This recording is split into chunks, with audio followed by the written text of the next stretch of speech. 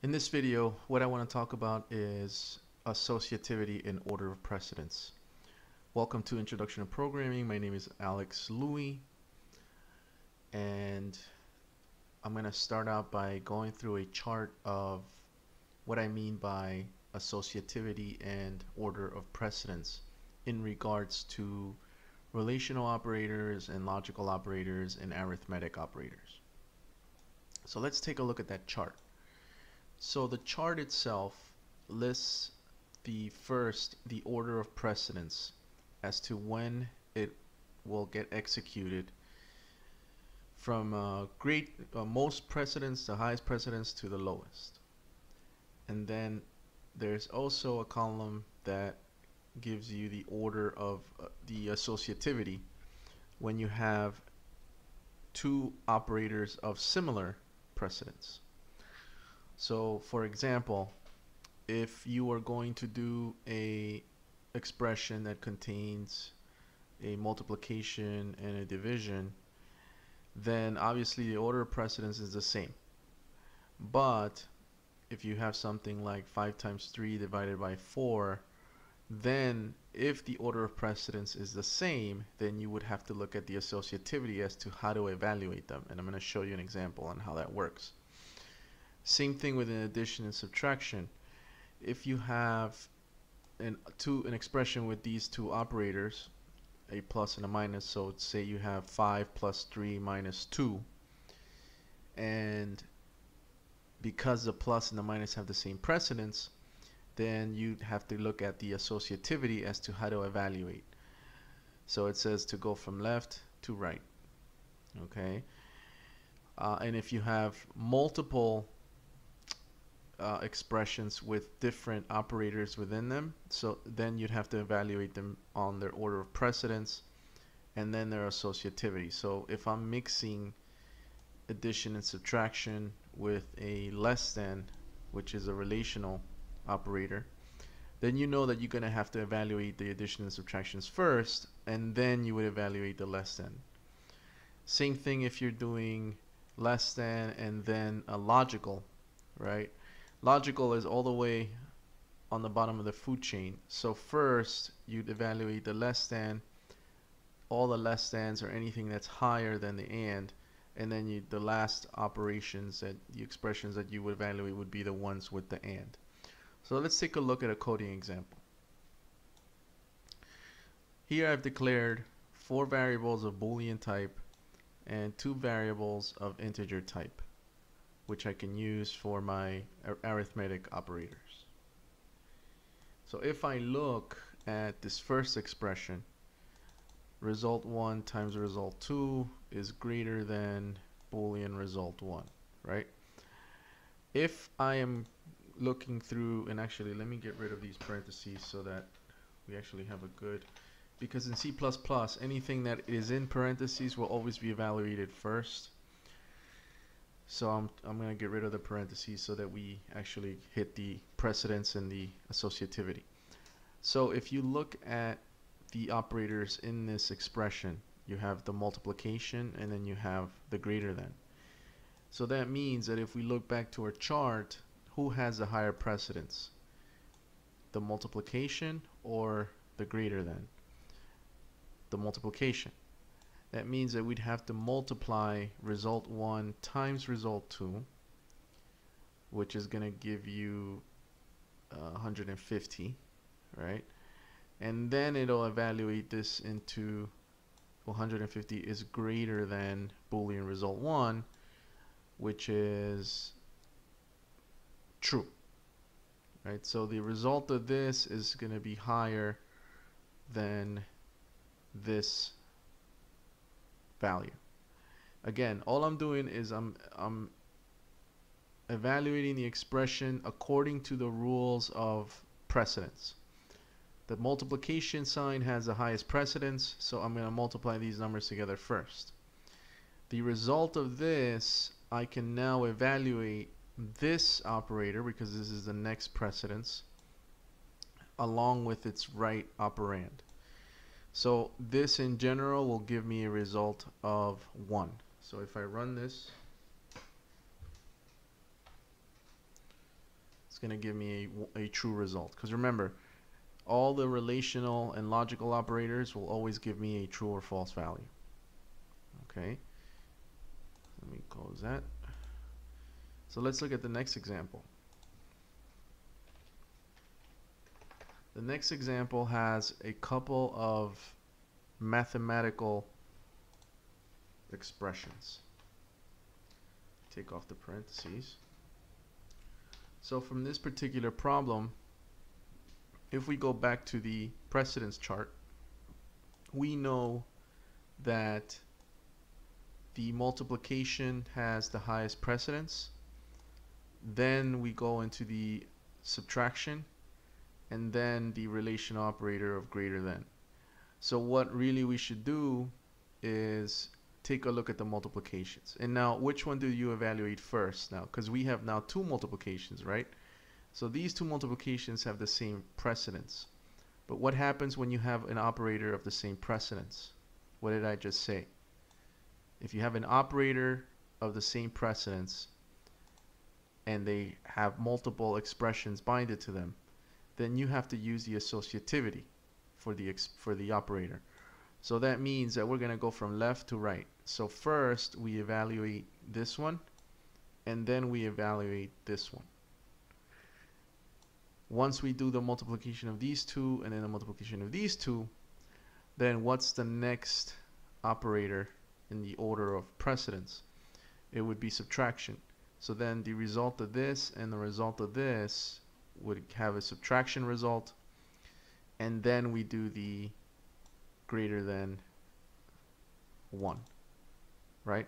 So whatever the result of this expression is going to be compared it, it's going to ask the question is this greater than 1 if it is then it's going to return true. If it's not then it will return false well, my point here is that first we have to evaluate the expression according to the precedence and then the associativity so it's important to remember here we have different math operators.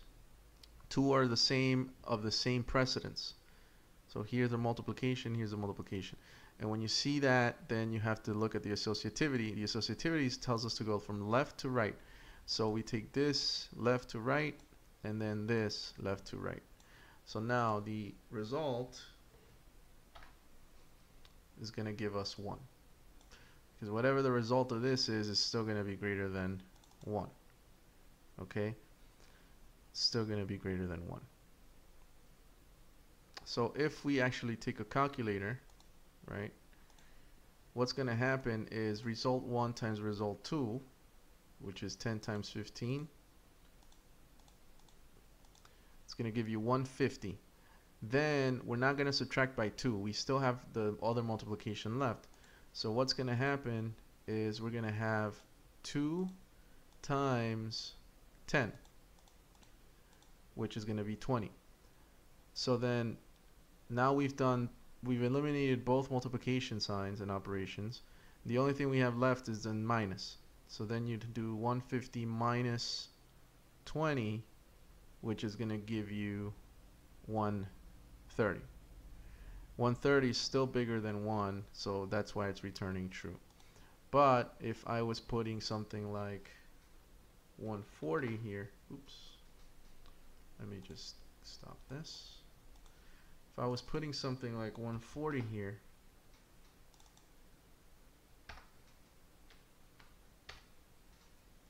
then this actually should return false because 130 is not greater than 140. So if I run this, See that? It's returning false. Again, order of operations and then associativity. So now let's go to our next example. Next example shows us that we have two operators here. We have a not and a greater than. The not supersedes everybody. So when the compiler looks to evaluate, it's first going to say, okay, I'm going to evaluate all the nots. So not true will give you false. Is 0 greater than 1? No, it's not, right? So if we evaluate this as a whole, then it's going to give you a false. And there you go. Okay. Again, all I did was I looked at, in order for me to evaluate it as a human, I looked at the associate, the oper, operator precedence and then the associativity. So in this particular case, we have different operators, so we really don't have to look at the associativity. We just look at have to look at the precedence.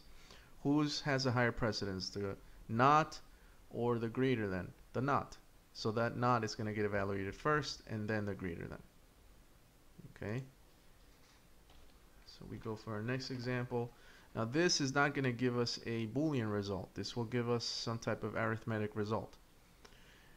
Now if we evaluate this it's going to actually give us uh, 150 150 plus 150 right again we take a look at our precedence we have a multiplication a multiplication and then we have an addition multiplication goes first and then addition multiplication multiplication now we have to look at the associativity it's left to right so result 1 times result 2 is going to give you 150. Result 1 times result 2 is going to give you 150. So 150 plus 150 will give you 300. So if I run this, that's what I should get, 300. Okay. And then I purposely used the same variables but different operators so you can see the difference, right? Here I flipped the signs. So when it was multi multiplication and then addition. Now I'm doing addition and then multiplication. This is going to change the result. Why? Because of the precedent, the operator precedence and the associativity. Instead of doing multiplication here and here and here, now this is actually going to go from left to right, starting with the first multiplication. So we're going to multiply these two and then these then the result of this will be multiplied by result 2. And then finally, we're going to add result 1. So the precedence here is different. And because we have the multiplication here adjacent to each other, then you're going to have from a left to right associativity. So go from left to right, left to right.